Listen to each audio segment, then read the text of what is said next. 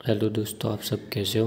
तो आज हम लेके आए वीवो वाई बारह एस एलसीडी लाइट प्रॉब्लम तो ये हमारा, आप देख रहे हो display light problem display connector है, हमारी एलईडी प्लस ये यहाँ पे आती है, छोटी सी कोयल से होती है डायट पे।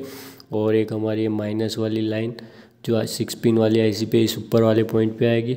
और हमारी P W M E N signal वाली लाइन जो बीच में आएगी, हमारी वी पी एच वाली जो चार्जिंग आईसी से जनरेट होती है, वो लाइन होती है। तो यहाँ पे आएगी एक डायट के हिस्से में और thanks for watching the video